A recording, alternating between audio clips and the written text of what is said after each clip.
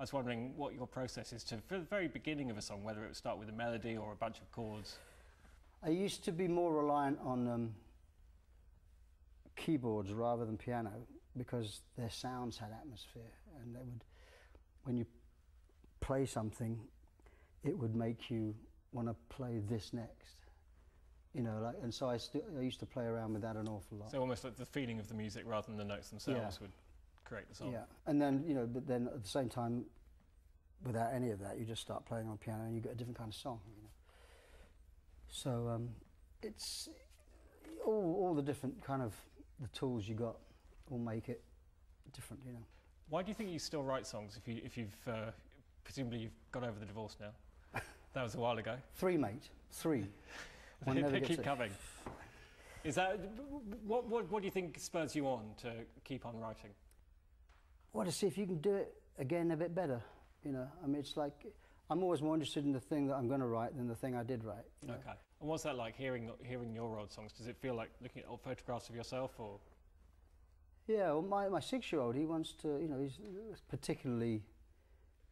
Um, he'll listen to a song like No Son of Mine from Genesis, or I listen to a song like Driving the Last Spike, which is about about the making of the English railroads, you know, Genesis song. And um, he'll say, what, what does that mean?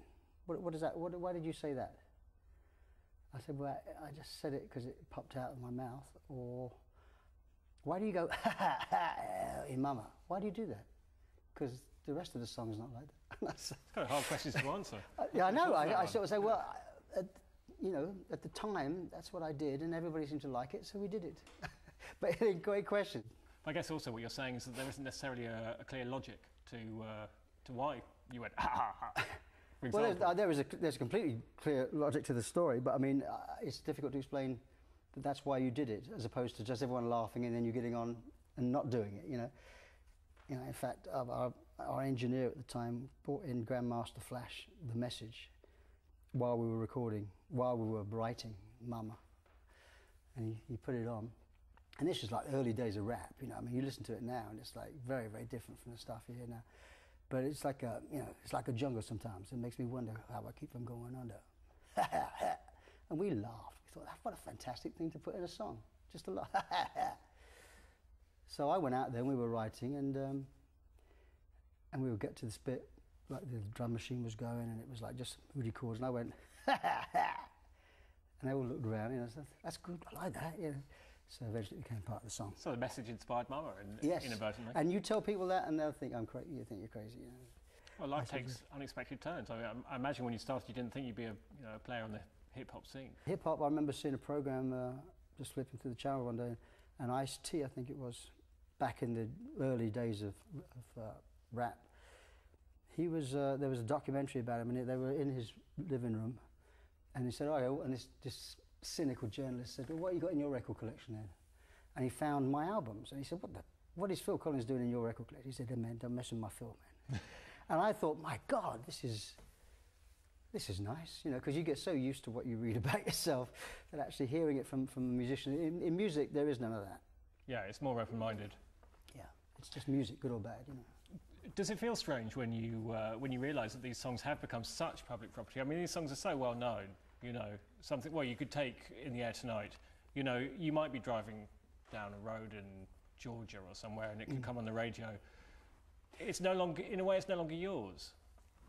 I, I, I automatically assume, I mean, I, I just can't get myself into the other way of thinking about it. But I automatically, when I leave the country, they stop playing the records. You know, you go to America and you promote something and they play, yeah, yeah, let's see it, feel right. Put it away till it comes back, you know. And then someone will say, oh, I was listening to, I was in the car today, there's someone in America and I'm here. Say, oh, I heard you, I went, two stations were playing two of your things back to back. It's extraordinary. And I think, really? You mean life goes on when you're not there? We talked a little bit about the Tarzan Commission with the song. How- Can you just tell me a bit about how that came about?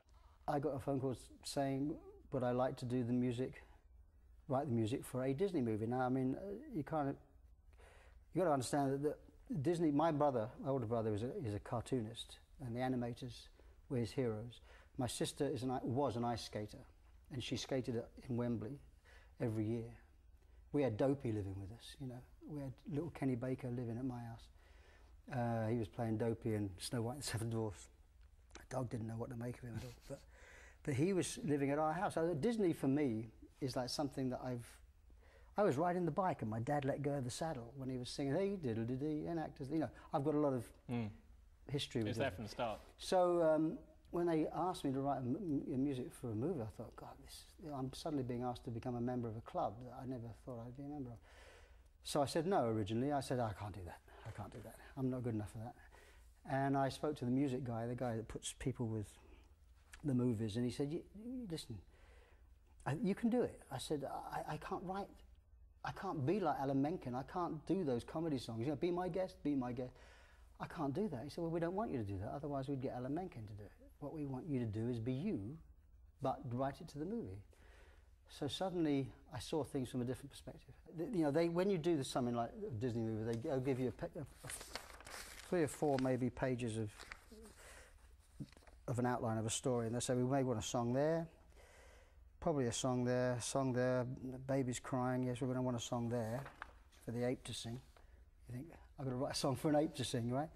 So okay, I don't do that often. So I sent them the demos of the songs, and the director started to fall in love with the demos, and uh, it was then suggested that I would sing in the movie. And I said, "You're crazy! You know, people have gone to go and see the movies expecting the ape to sing. You know, you can't suddenly have Phil Collins' voice. It's going to take them back to somewhere else. You know."